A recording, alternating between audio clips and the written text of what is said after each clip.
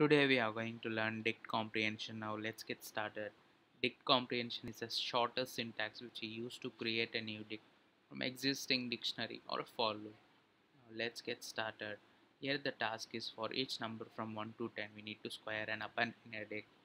Let's create an uh, results dict.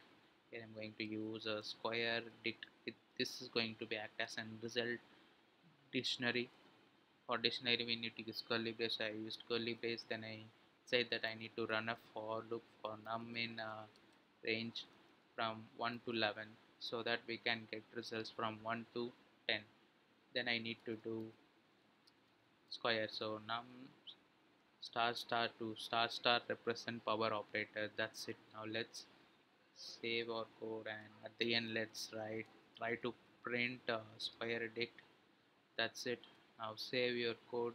Let's try to run. Here you can see it has given us the result in expected format. Key value pair where uh, the key is a number and the value is a square of the key. 2 square is 4 3 square is 9 4 square is 16 like that 10 square is 100 thanks for watching